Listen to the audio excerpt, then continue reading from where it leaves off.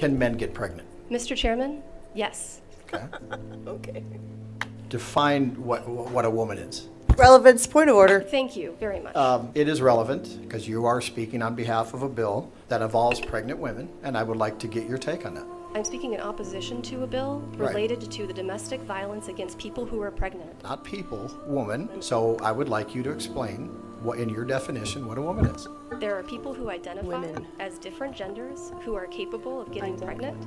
That is my position on this. I am not going to feed more into the bigotry of that question. It's a sad day in our in our nation. Just a few short years ago, we knew what a woman was. It's it's it's insane where we become, and until we continue to push back on the idiocy that's out there as to men getting pregnant, people that cannot define what a woman is, and we we have to keep telling the truth that God created them male and female, and real men protect real women. Period.